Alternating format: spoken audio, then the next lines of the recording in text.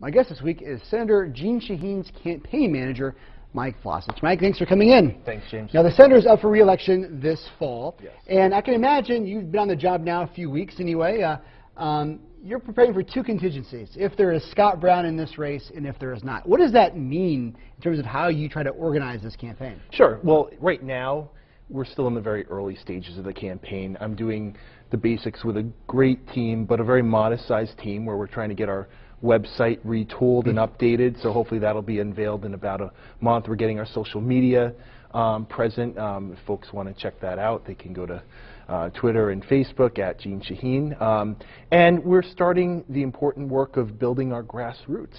And all of that is going to be important regardless of who we run against. You have to have a strong infrastructure. New Hampshire voters expect um, us and Senator Shaheen to get out there and meet with them and talk to them, and that's what we intend to do. And so right now, it's an important time to build that organization.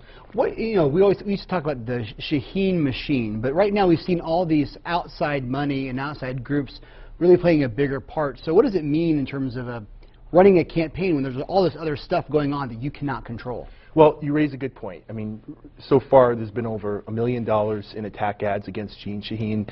Uh, the good thing is we've seen Senator Shaheen um, continue to focus on what's most important to her, and that's serving New Hampshire and working every day on the issues that matter. And, you know, I want to go back a little bit. I actually started working for Jeanne Shaheen basically out of college as a UNH student. She was my state senator when I was at UNH, and what we did was um, we just simply approached um, governing a very similar way as we do today, which is do your job and good things will come from that. Good policy is good politics. Thanks so much for joining us. Now you can read more about this race for Senate at WMUR.com slash political scoop. And that's also where you can find an extended version of this interview. That does it here for TV. Now back to you. We have a few more minutes here online, uh, Mike. So talk to me about the perspective here. We, we talked about this a little bit before on the phone. Um, you have 1992 Judd Gregg, all right, as the model. And, and Judd Gregg barely wins in 1992. Then six years later, when he's up for re-election, he faces a, a guy named George Condodemetraky and blows him out of the water. Now you have Jeanne Shaheen, right? Of course, she lost the first time she ran for Senate, but when she wins in 2008, it's a tight contest, right, against John Sununu. Obviously, a good year for Democrats. This time, if Scott Brown's not in the race, we're having like now basically three or four or so many candidates who may be in this race that really, frankly, are not going to become, you know, be viable, even raise the money, much less have the stature. How do we get from close election to six years later, possibly a blowout? Well, so first off, you know, in looking backward, you know, George Demetraki and anybody that puts their name on the ballot, you have to give them Absolutely. credit for that. Absolutely. Um, you know, it's not an easy thing to go through. Um, but at the end of the day, you know, what you do is you focus on the reality of, you know, New Hampshire, and that is that it's a purple state. It's not a blue state. It's not a red state. And so if you go into it with a mindset that an opponent is uh, a, a lighter opponent than another opponent, you're, you're potentially going to get upset. And so our mindset is to treat every race as if it's a serious race and we will approach it um, in a very serious manner. And the reality is, is that you know Senator Shaheen has worked hard the last five years, going in six years now. She's gone around the state.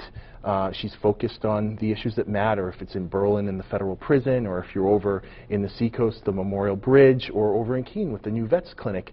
And the reality is, that voters have developed a, a relationship with her. They trust her, and I think that you know that's um, you know that's going to serve her well in the And here's where I am going to push back in this right, whole conversation, which is, look, you're right. Um, it's a swing state, and she has taken times when she has tried to, to poke to show she's that independent force, but you cannot deny this latest uh, report showing that she voted with the president or the Democratic Party 99% of the time from a swing state like New Hampshire Hampshire's, not from Massachusetts. That's going to be a pretty tough attack line, right? Well, at the end of the day, you've got to look at what Senator Shaheen has done for the people of New Hampshire. I think they trust her to do what's right for New Hampshire. She has spent her career working on the issues that matter.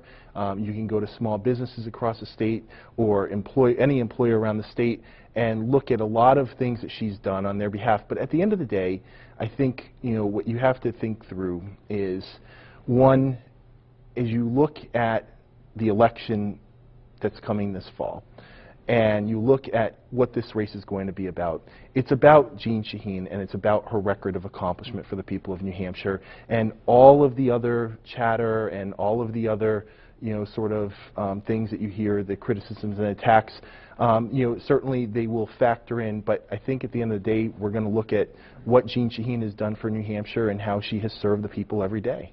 So wrapping up the Senate race Sure. here, Scott Brown running. What do you what do you, what do you think? I know you're not in the inside circles talking to Scott Brown every day, but you know you, you, you it's your job to know. You? Um, you know, listen. What's the mindset? I don't know if he's running for senator, president, or UN general secretary, but that's going to be up to uh, the um, voters of New Hampshire and the Republican electorate. Or up to him if he decide. decides not to run. Or up to him to decide what he does. But I do not know what's in Scott Brown's mind. Okay. And last, I want to ask you, uh, before you took this job, you were the state director for uh, Jeanne Shaheen. Um, there's been a lot of changes in the other Senate office lately on Kelly Ayotte. Um, and people were asking, you know, state director is changing, the chief of staff is changing, some other positions are changing.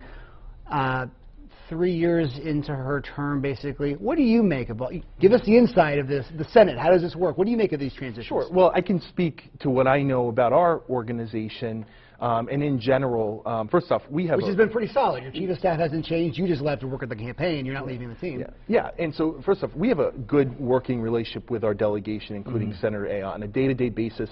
Politics doesn't matter. Um, we look at how we can solve problems for people, and our bosses do the same with each other.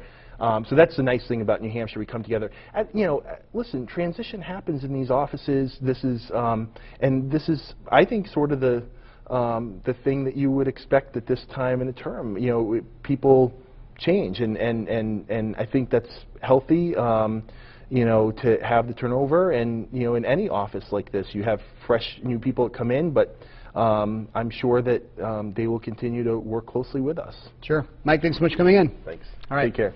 And thank you for watching WMUR.com.